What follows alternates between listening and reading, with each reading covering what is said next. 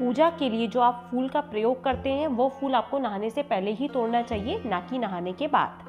श्री शिवाय नमस्तुभ्यम दोस्तों, स्वागत है आपका हमारे चैनल शिव भक्ति मार्ग में। भगवान की पूजा हम सभी लोग करते हैं। हम दिन में एक बार तो पूजा करते ही हैं। पूजा पाठ के देखिए कुछ नियम होते हैं। अक्सर हम उन नियमों को नज़रअंदाज कर देते हैं। वहीं कई बार हमें कुछ नियमों की जानकारी ही नहीं होती। देखिए, नियम तो क्या होता है? बहुत सारे होते हैं। जो आप फॉलो कर पाएँ, उन्हें ज़रूर करिए। क्योंकि कुछ नियम ऐसे होते हैं, जिन्हें हमें फॉलो करना चाहिए, जिससे हम जो पूजा पाठ कर रहे हैं, क्योंकि हम हमेशा सोचते हैं, हम पूजा करते हैं, हम पाठ करते हैं तो भी भगवान हमें ही दुख क्यों देते हैं?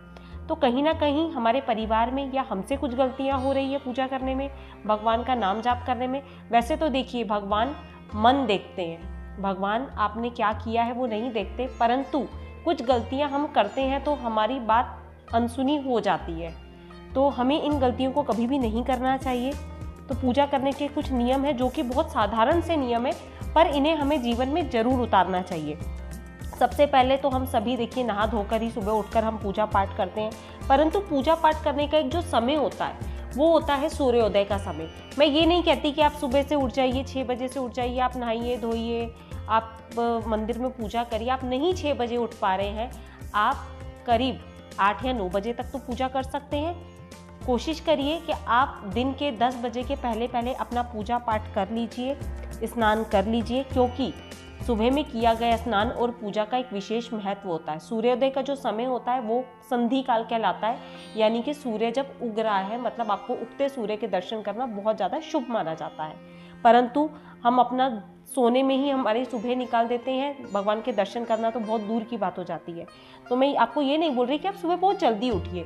आप करीब नौ बजे तक तो उठ के नहा धो के पूजा पाठ कर सकते हैं। अब देखिए, जब आप पूजा करने जाते हैं तो हमेशा एक चीज़ का ध्यान रखिएगा, जब आप पूजा करने के लिए हमारी छत पे, हमारी बालकनी में कुछ फूल लगे होते हैं, जिन्हें हम तोड़ के भगवान को अर्पित करते हैं तो उसका एक नियम होता है, फूल आप अपने नहाने के पहले तोड़िए।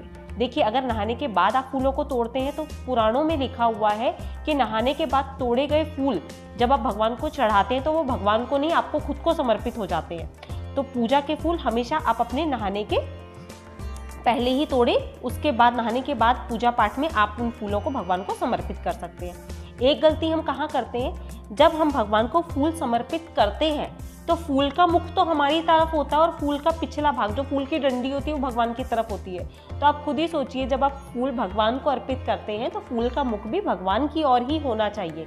क्योंकि फूल एक माध्यम है, जो आपकी बात भगवान तक पहुंचाता है, यानी कि आपके भाव को भगवान के सामने प्रकट करता है। तो फूल का मुख हमेशा आपको भगवान की तरफ़ ही रखना चाहिए। अब एक चीज़ हम कहाँ गलती करते हैं? हम किसी भी दिशा में वैसे तो उत्तर पूर्व की दिशा बहुत शुभ मानी जाती है तो किसी भी दिशा में पूजा पाठ ना करें या मंदिर का जो भी आपका स्थान है, वो कोशिश करें आपके घर का जो मंदिर है, वो ईशान कोण में हो, या मुख आपका जब आप पूजा करें तो आपका पूर्व या उत्तर की तरफ़ होना चाहिए। और अब एक बहुत ही महत्वपूर्ण बात, जब आप आरती करते हैं तो कुछ लोगों की हैबिट होती है, कुछ की आदत होती है कि आरती के साथ ही कपूर को भी वो प्रज्वलित कर लेते हैं। बहुत गलत बात होती है। आरती के साथ कभी भी कपूर एक साथ प्रज्वलित नहीं करना चाहिए। आरती करने के बाद जब कर्पूर गौरम का समय होता है, उस समय पे आप कपूर प्रज्वलित करें। और एक चीज़ का विशेष ध्यान रखें, जब आप भगवान को तिलक लगाते हैं तो कई बार हम होता है, हमने सिंदूर लिया, सभी भगवानों को लगा दिया, ये नहीं करना चाहिए। क्योंकि श्री हरि विष्णु और कृष्ण जी और शिव जी को कभी भी सिंदूर अर्पित नहीं होता है तो उन्हें आप पीला चंदन लगाएँ। और पीला चंदन आप अपनी जो रिंग फिंगर होती है, उससे ही भगवान को आपको लगाना चाहिए। इसके बाद हम कहाँ गलती करते हैं? हम तुलसी, जो कि श्री हरि विष्णु की प्रिय है, श्री कृष्ण को ही समर्पित की जाती है और श्री हरि विष्णु को ही माँ तुलसी को समर्पित, तुलसी दल समर्पित किया जाता है। वो हमें अन्य भगवानों को समर्पित नहीं करना चाहिए। जैसे कि श्री गणेश पे तुलसी नहीं चढ़ती है और विष्णु शिव जी पर भी तुलसी नहीं चढ़ती है। आप विष्णु जी को श्री हरि यानी विष्णु जी, कृष्ण जी को आप तुलसी समर्पित कर सकते हो। और एक चीज़ का विशेष ध्यान रखिएगा, जब आप दीपक प्रज्वलित करते हैं घर के अंदर तो दीपक, यदि आपका तेल का दीपक है तो उसमें आप तेल की ही बाती लगाइए। और यदि आपका घी का दीपक है, हमेशा उसके अंदर तेल या घी को चेंज ना करें। घी की बाती वाला दीपक है तो आप घी से ही प्रज्वलित करें। और तेल की बाती का दीपक है तो उसे आप तेल से ही प्रज्वलित करें। और यदि आपको थोड़ा सा जानना है कि किस देवता को कौन सी बाती लगानी चाहिए, उस पर भी मैंने वीडियो एक बनाया हुआ है। मगर आप विस्तार में जानकारी चाहते हैं तो मुझे कमेंट बॉक्स में बताइएगा, मैं उसके लिए भी आपके लिए एक वीडियो बना दूँगी। और एक चीज़ का विशेष ध्यान रखें जब आप धूप दीप करते हो तो जब आप सुबह का मतलब पूजन करते हो या शाम का पूजन करते हो तो दीपक जलाने के साथ साथ सुगंधित अगरबत्ती या फिर धूप दीप का प्रयोग करिए। उससे क्या होता है, महालक्ष्मी जी को खुशबू बेहद ज़्यादा पसंद है और सभी देवताओं को।